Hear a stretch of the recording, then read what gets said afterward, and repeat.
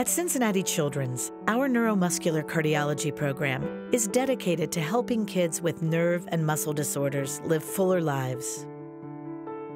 We treat a variety of disorders that attack the muscles and nerves, such as Duchenne muscular dystrophy, and our specialists come up with individualized treatment plans. The heart is also a muscle, and so for these patients with a problem with the skeletal muscles, they have associated cardiomyopathies. Our goal is to provide a comprehensive, holistic approach.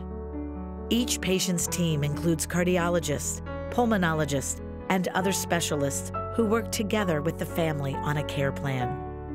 We follow one of the largest cohorts in the world, approximately 600 patients with Duchenne muscular dystrophy, which is an exceedingly large amount of patients. And this is really an epicenter for that kind of care. The benefit of having large patient volumes is that we can then use that as a vehicle to do clinical investigation. I believe, having been around the country and many other institutions where my colleagues also have research laboratories, that we have something very unique here at Cincinnati Children's. We try to investigate childhood diseases at the genetic level and find new ways of treating them. Many of the ideas spurred in the research laboratories directly lead to clinical trials. We have thought of a way to set up a clinical trial with an investigational drug that appears to be perfect for the disease that we believe unfolds in the heart during muscular dystrophy in children.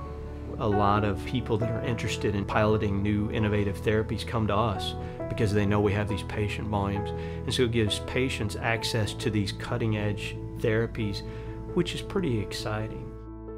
Our experience is that patients that are managed appropriately, that have the right kind of follow up, that have the appropriate restrictions in place, do exceedingly well. We're very proud of the fact that our patients have very good outcome. Find out more about how we're working together to deliver the best care for kids with neuromuscular disorders. Visit cincinnatichildrens.org backslash neuromuscular dash cardiology.